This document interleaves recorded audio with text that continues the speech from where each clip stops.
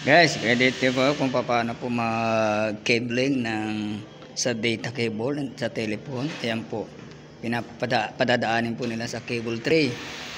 Instead na piping. Ayan po. Ha? Makikita ko po sa inyo mga ka-electrician. Yan po, yan, po yung cat 6 cable. Violet nga lang ha.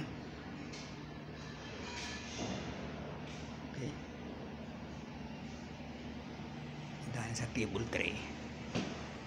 Sa, sa trunking pala sa trunking padadaanin. Yan o. Kasi pag cable tray sa power, pero pag low voltage, low current, sa cable tray nila pinadadaan. Ayan. Ang ganito niya sa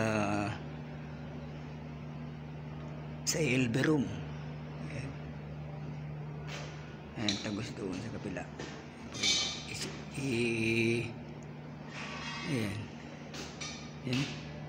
Ang dami.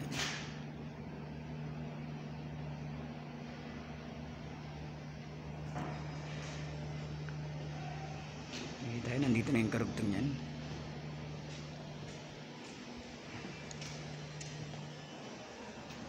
Ayan. Trunking. Ayan.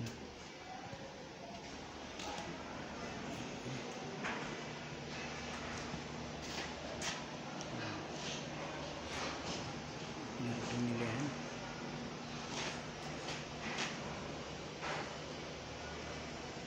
Ayan, trunking.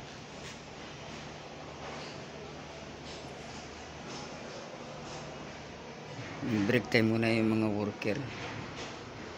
Binidyo ni Commander Kapitan.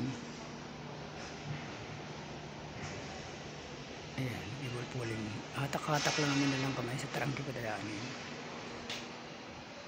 bibigyan ko lang kayo ng idea. Mano-mano nila hinahatak sa trangke padadaanin nila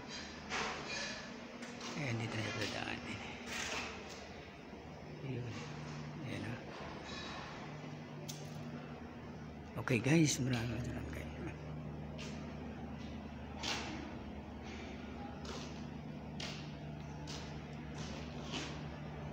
Okay guys, thank you.